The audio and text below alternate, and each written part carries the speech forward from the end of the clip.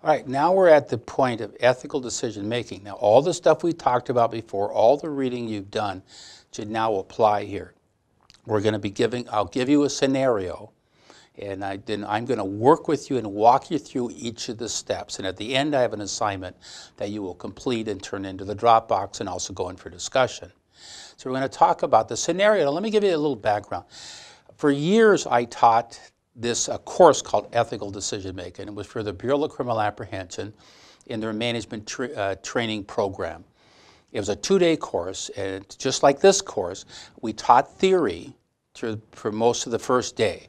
And then they had an assignment, very similar to what we're going to do here, but their assignment was to take a real life case, something that affect them, something that's real and that they're familiar with or directly involved, and work up just like you're going to see this form. And the next day, come back, get into groups, and each of you present it. And then each of you inquire, and then we go through the process on what happened, and then they present it in the full group. What we're doing here is very similar. I'm going to give you a scenario, but there's a, but there's a big assignment in this class, and it's really based on you're going to have to go out, you're going to have to identify an ethical dilemma, and I have to approve it. Then you have to go out and you have to interview two practitioners from like line officers and two supervisors, higher level than uh, sergeant, and present the dilemma and get their input. I have a series of questions, and then you're going to step by step answer the questions on the theories and everything we've talked about. That is a major part of this program. Right now, I want to walk you through an example of an ethical dilemma. This example came actually from a real one from one of our students. The story, the scenario is you are in your patrol car and you're talking to another officer in another patrol car facing the other way. As you're visiting and talking, a car drives by of minorities, young black males. Your partner says, Gotta go, takes after them. Now, I want to make it clear because some of you are going to try to rationalize and justify. This is racial profiling. I want no misunderstanding. I don't want, well, maybe they did something, maybe there's a furtive action, or maybe something. No, this is racial profiling. The, as he explained, your partner does it all the time. Shake, but people, he stops minorities, shakes them down, and sometimes he's right. And a lot of times he's not right.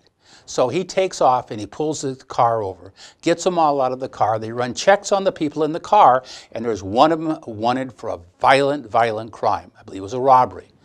And, and this guy's, everybody's looking for him. They arrest the guy. The officer becomes a hero.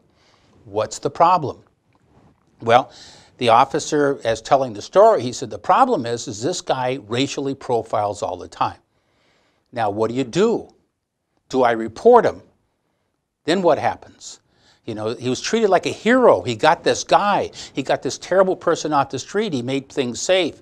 Other people looked up to him. Young officers thought he was great. You want to be just like this guy. He, I don't know if he got an award, but it sounded like he might at least got a commendation verbally, but maybe even more from getting this guy, you know, and writing up, as we call the golden pen, this unbelievable report on what was the probable cause for his stop. But this officer who's presenting it always bothered him because it was no different than a lot of times on how he treated people. Taking this scenario, we're going to walk through the whole process. Now, the first part of the process, we're going to talk about your values. What do you stand for? And, and we'll take a look at it. And then the next steps is going to actually step by step walking through how to evaluate an ethical dilemma. Remember, our really goal in this class is for you to develop the skills when confronted with a dilemma that you can evaluate and determine the consequences or possible consequences rather than act instinctively. That's where you get in trouble. Ethical decision making. Step one, guiding values. Now we're going to look at what is yours and what is your organization, and if they're in conflict. What is your mission in your organization? What do they say? Or what is the real norms? So first I'd like those in law enforcement or those that not in law enforcement, look at a law enforcement agency or a correction agency or, or one you know of if you don't work in, and what is their mission statement? What do they claim they stand for? Next, I want you to identify the formal, declared operating principles or norms. Here's what they say, and here's what they formally claim. Now, want you identify the informal. What is the reality? you know, don't, don't bring me problems, uh, cover up this, don't embarrass the agency. What is the reality where you work? Or if you don't work there, then talk to somebody else that does work. And pick the area you'd like to work in. Hopefully you're, you're a licensed police officer. If you're not, you know, take a look at, find an agency and talk to them. And then list the priority, significance, you know, your personal values. All right, so values. Let's take a look what. These are his distinguishing characteristics. These are what you stand for. These are the principles, the guiding lights, the moral nature, guiding beliefs. And here's an example of some of them you might pick from. Take a look at these, and I want you to pick the five in the order that you think are most important to you and what you stand for. Take a look at them. What do they really stand for? What principles are behind them? you know, as you look at them. In other words, loyalty, what does it mean? Uh, honesty, what does it mean? Family, what does it mean? Take a look at. Uh, look at the golden mean we talked about. Put it back up. Of these values, when you look at the principles, where is it? In other words, don't just say I believe in. As we I use the example, loyalty. What did that? What does it mean? So look at them and try to come up with principles. What do these values stand for? So what are the values? Identify at least five of these values and develop a principle that identifies the meaning. So I want you to identify the value, and then what does it mean to you? We're trying to get an assessment, We're really working on your personal mission statement. Who are you and what do you stand for? What do you believe you stand for? What should you stand for? Values. They're filters on how we see the world. They're filters on right and wrong. They generate generation building, individual. You know, they're standards of behavior. You know, they help in conflict resolutions when you identify what you stand for. Now, why is this important to you? Because as you face ethical dilemmas, the more you know what you stand for, and very important, the more other people know what you stand for, the less dilemmas you're going to find yourself in. You may not be invited to the pig roast, but maybe you don't want to go. You know, it's, it's to say, I won't lie, and I won't lie in a report, and I'm not willing to lie, and be clear on it will save you a lot of grief in your career when you know what you stand for and you're willing to articulate and let others. Now, some of you thinking, then I'll be all by myself. There are so many people just like you out there that has high standards. And they may not be so vocal, but they will find you when people realize what you stand for. You know, so we look at the core ethical values. I'm using a, from a, another speaker talking about what they are. Uh, you know, truthfulness, responsibility, justice and fairness, caring, and civil virtue and citizenship are as the core values as we look at some of them identify. So with that, now this the first part was you. Take some time. Who are you? What do you stand for? It's very important. Now we're going to take a look. Let's look at the scenario we have. So we're going to identify, explain the situation, and get the critical facts. What we're looking at here is I want you to list the facts of this case. Take this case apart, every piece of it. That's the first step. What are the critical facts? You know, what are the facts involved in here? Not the ethical dilemma. We're going to separate the morally relevant facts as we go along. So what are the facts of the case? Let's hypothetically, uh, you're in a car, a car drives by, uh, stops the car, the guy's wanted for a crime. Just list all the facts, minority, uh, list uh, everything and do with the case. Now, from that, we're going to separate and pull out what are the morally relevant facts. In other words, why is this an ethical dilemma at all? Uh, you pull somebody over, they're guilty of a crime. Is there an ethical dilemma? No. Uh, if somebody else pulls somebody over and they didn't do anything, they're being stopped, that's, pretty, that's wrong. So why is there, the ethical dilemma, by the way, is not, so you understand where we're going, is not the officer that stopped them. He's blatantly racially profiling. The ethical dilemma we're talking about is you, the officer that witnessed this. What do you do? So, what is keeping you from telling the truth? Why is it you're not just jumping forward and saying, listen, they did nothing wrong, they shouldn't have been stopped? So, what are the facts, the morally relevant facts, the facts that if they didn't exist, we would have no ethical dilemma at all? What are they? And I want you to list them. He's your partner. He's a police officer. Uh, people are. Uh, he got the bad guy, bad guy off the street. You know, uh, what are the facts? And the key one in here is he's a fellow police officer and he's your partner. If he was not your partner or a police officer that did this, would you have a problem when you're asked to tell the truth to tell the truth?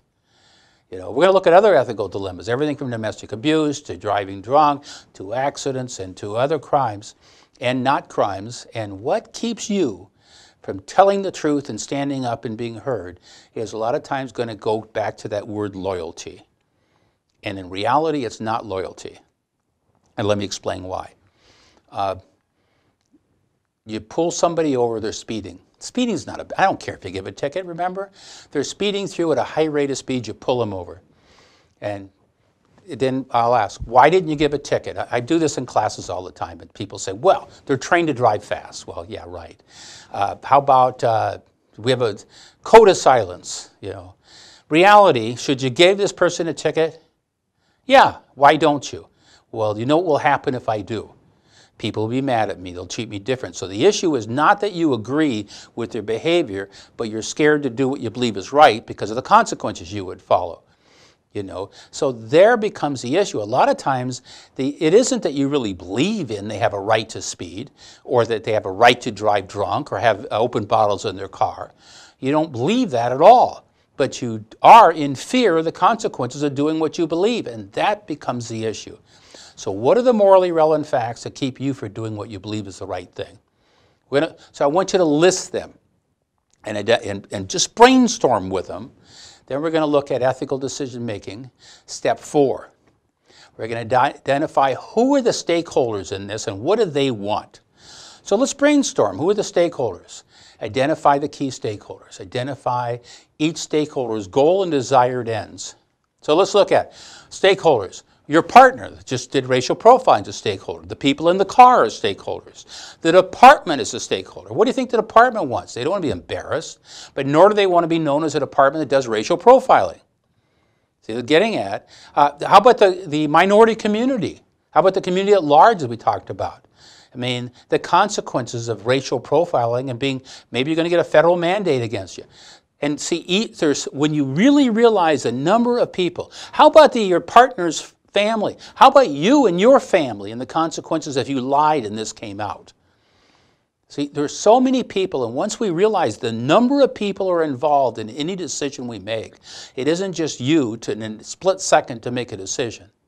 And some of the scenarios, this is a real simple kind of simple, but it isn't as, as extreme as some of the other ones we're going to be using as we go along in this program. Ethical decision making. Step five. What is it, what's the conflict here? See, you can't have an ethical dilemma without a conflict. Now, it could be loyalty and loyalty. What would they be? Loyalty to your family versus loyalty to your partner. Integrity and intrinsic value. Your integrity should be worth everything. And once you violate it, try to get it back in the eyes of people versus loyalty. See, a lot of times, most of these actually going to turn out to be integrity and loyalty, a conflict of values. A lot of times an intrinsic versus non-intrinsic or even two non-intrinsic. So identify why is there a conflict at all here? Ethical decision making. Now I want you to look at, list the options. You know, evaluate the options. So what are the options? Say nothing. Uh, tell my supervisor. Uh, report it to Internal Affairs. Lie and say, I saw what they did too, when he writes it up. So identify what the options, and then we're going to look at what is the correct option as we look at ethical decision making. So evaluate the option. You know, which principles are behind this? And we're going to talk about the principles. Uh, apply the ranking order. So what is it? Which are the options and what supports that behavior? Each of them as we look at six ethical decisions. So evaluate what is the correct course of action. What should we do, and if we do it, why? So take the time, look at what are the principles behind this as we move forward. And step five, seven, I mean, what is the most reasonable thing to do and why? You know, in other words, what course of action am I going to take and why? Now, here I'm going to step off of this assignment, and I, now I want to take you back because the assignment I will give you when it, it will actually ask you to identify of the five standards which standard would apply here. And it's going to ask you to take a look and analyze this ethical decision in three different ways one using deontological, one using teleological, and one using virtue. So let's do that now. Let's go back to that scenario. Under deontological, why is it wrong what they did? Now remember, the one we're talking about is the one that don't tell the truth. But we can look at both of them. Racial profiling is wrong. Why? Racial profiling is wrong because we treat a certain class of people differently based on their race, not their action. And if we look at the veil of ignorance, it, it could be applied to you or anybody lying or not telling the truth is wrong within itself. Kant would say, we don't want a society we can't trust people. And with law enforcement giving that power and that public trust, we should be able to believe what they say. Now, a lot of you, when you look at teleological utilitarianism, are going to say, well, it's a great, that's a good one because if we told the truth, this guy would get away. If we did this, this would happen. Well, let me, it, no, in the great, it's the greater good for the greater number of people. And the, the benefit or the, uh, the positive or the, for the society supersedes always or trumps the few or the group. Greatest pleasure. Racial profiling is wrong, and the effect on our society of racial profiling is far worse than the, than the benefit you gathered. Let me give you an example, a story. William Churchill, they broke the code. They knew what the Germans were saying. D-Day's coming up. What do you do? Well, all of a sudden they realize they got a message that they're going to bomb this town. And we know many people are going to die. But if I do and I evacuate the people, they're going to say, they're going to realize I broke the code. Now, deontological will say, you have no idea if they'll know or if they, they you know, maybe they even know already. So the right thing would do is, is warn the people and save the lives. Teleological would say for the greater good would be let the people die because we need that code so our troops and we, you know, will be safer. So over the long term, that's a better. William Churchill went with teleological. He did not tell them. And after the war, he told them what he did. And many people died. So we go to the same place both ways. Teleological would be it's wrong and we need to tell the truth because the greater good for the greater number of people is not to allow racial profiling. Deological would say, no, we should tell the truth also, and racial profiling is wrong. How about virtue? Virtue would say lying and racial profiling is against the values of an individual, of a virtuous, honest person of high moral character. So all of the theories as we look at them will all end up in the same place, that of being honest. The last part, now we're going to move you to the final thing. I, this is a Dropbox assignment. And also, this is going to be posted so you can look at it as a sheet. I have a series of questions I want you to work through on this scenario. And these are, you know, uh, identified, you know, can you, act, you know, can you identify what the problem? And I'll put them up, but I'm going to let you, that's posted, and I want you to answer each of these questions in at least a paragraph or more. I want you to post it in the Dropbox, and then you're going to go to discussion and you're going to discuss this scenario. And I look forward to reading and your comments, and you have a good day.